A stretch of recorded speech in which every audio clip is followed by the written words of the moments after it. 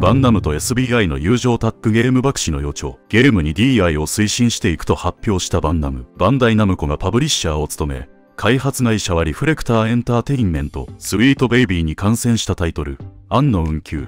アウェイクニングは、すでに完全な大失敗に終わっているようだ。10月17日に発売されるこのゲームは、現在 Steam のトップセラーリストの794位、SteamDB の最も欲しいゲームリストの349位にランクインしている。そもそも皆さん知ってました。DI 関連で知るとは皮肉ですね。昨日、バンナムアメリカ公式でライブ配信していました。同時視聴数は不明ですが、再生数は1万ほど、低評価をされすぎ問題。ゲーマーたちはこのゲームを嫌っているだけでなく、コメントでも嫌悪感を表明していた。あるユーザーはこう書いている。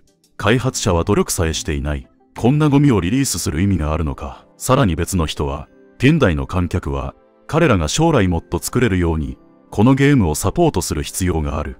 と書いている。スチームだけでなく、ゲームの小売店での予約注文が芳しくなかったことを明かしている。この人は人口の多い地域で9つの小売店を経営している。そして、9つの店舗を合わせても、アンノ運休、アウェイクニングの予約注文は一件もなかったと聞いています。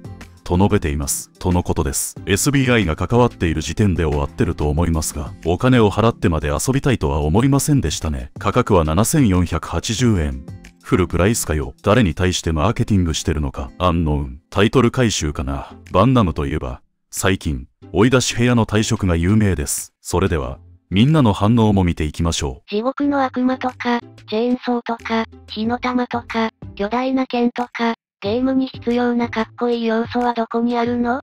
今のゲームにはそういうのが必要なんだよ。今のゲーマーのみんな、このゲームを応援してあげてよ。そうすれば、もっと続編が作られるかもしれないからさ。開発者たちは何も努力してないね。こんなゴミを出す意味あるの？バンダイがこの崩壊したゲームをなんとか立て直そうとしてるのはコメンダブル賞賛に値するけど、もう手遅れだよ。このゲームを遊ぶ5人の男性、2人の女性、そして1人のトランスジェンダーの人にエールを送りたいな。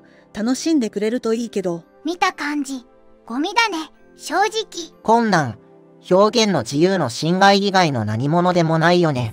コンサル失敗しても責任取らないんだろうし、本当にクソだわ。SBI が関与じゃなくて感染って表現されてるの笑える。ゲーマー変容。今度の新作は意識高くて、政治的にも正しいね。これは買わなきゃ。ゲーマー B、俺も俺も。ゲーマー C、俺はもう予約したよ。彼らにはこんな風に世界が見えてるんだね。日本企業ってポリコレに参加することが国際化だと思ってるんじゃないかな。世間知らずだよね。むしろ日本にこもってガラパゴス的にゲーム作った方が独自賞で評価されるものが出せるのに勘違いしてるんだよ。大した信念もない人が作ってるからこうなるんだろうね。開発者には熱意があっても経営者には熱意がないから、インディーズみたいな作品が大手よりも評価されることがあるんだよね。今、バンダイナムコがリストラ部屋でニュースになってるよね。社員をリストラして、DI の活動家を昇進させて、UBI の道を歩んでるのかな。そもそも SBI みたいな連中はゲーム文化もゲーマーも嫌いなんだよ。彼らは健全に発展させたいわけじゃなくてお金もらって破壊したいだけ最初から敵なんだよね。メーカーは早く気づいてほしい。追い出し、部屋からのポリコレで自滅していくのがもう笑える。バンダイナムコってキャラクター商売でずっとやってきたのにそのキャラクターの魅力をなくしてどうするつもりなんだか。スイートベイビーと組んだ失敗例がこれだけあるのになんでまた組もうとするのか理解できないよね。なんでスイートベイビーが絡むと100%の確率で絶対に売れない気持ち悪いキャラクターデザインになるんだ。黒人を使うにしても黒人をかっこいいキャラにしちゃいけないとかそんな掟でもあるのか？笑いディズニーもそうだけどわざと売れない気持ち悪いキャラにデザインしてるとしか思えない活動家ってヤクザと一緒で敵に回すと金と暴力で攻撃してくる。でも、暴対法はあるけど、勝対法はないから、活動家の方が立ちが悪いんだよね。でも、そのおかげで見分けやすくなったし、確実に買わなくて済むから助かるよ。ゲームのキャラなのに、顎が出すぎてて笑うわ。ポリコレのせいで、目覚めとか覚醒って聞くと、もう身構えちゃうよ。DI 促進はバンナムじゃなくて、バンナムオンラインだ。みたいな言い訳はもう崩れたね。数ヶ月前にバンナムの女性社員が、DI の発表をしてて嫌な予感しかしてなかったけど、すでに手遅れだったのかもね。ポリコレヤクザにそそのかされた末路がこれだよ。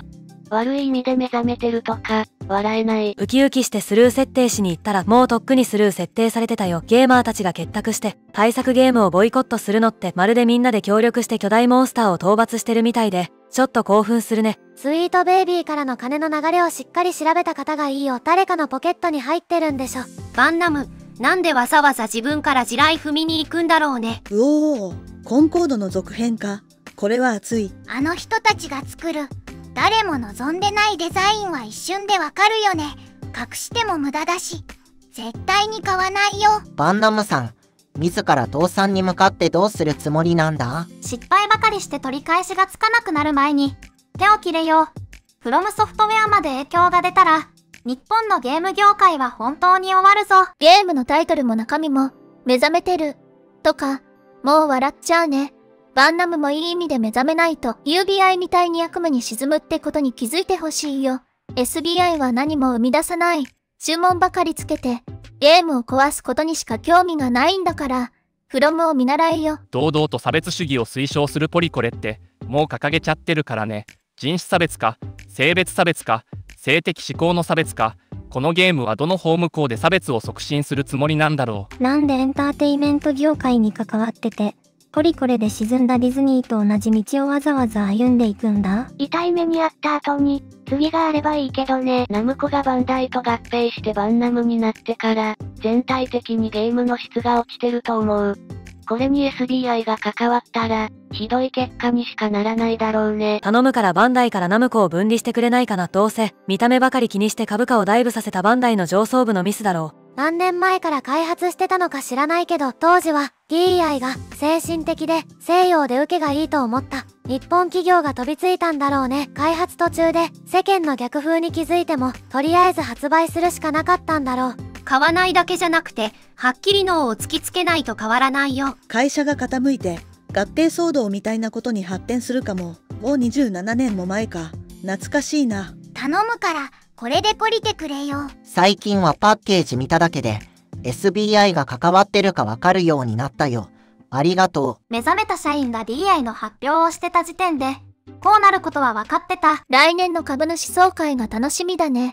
それまでゲーム事業部があればだけど、ガンダムヤスケ行きますポリコレ利権や融資の条件を有利にするために業界に入り込んでるんだろうけど、長い目で見たら絶対に損するよ。業界は早く気づいてほしい。擁護するわけじゃないけど、DI を拒否するといろんなところから嫌がらせされるのもわかるよ。バンナムがやばいなら、フロムまで影響がありそうで本当に心配だ。自分は受け口にコンプレックスを持ってるから、ゲームで受け口のキャラを使いたいなんて思わないんだ。受け口じゃない人も、そうは思わないんじゃないかな。なんでそんなキャラをデザインする必要があるの？DEI 重視の発表があった頃から、なんか怪しい動きがしてたよね。可能追い出し部屋って、アンチ DEI を排除するためのものだったのか。パンナムもおしまいか。たくさんのゲームで楽しませてもらったよ。ご冥福をお祈りします。今までありがとう。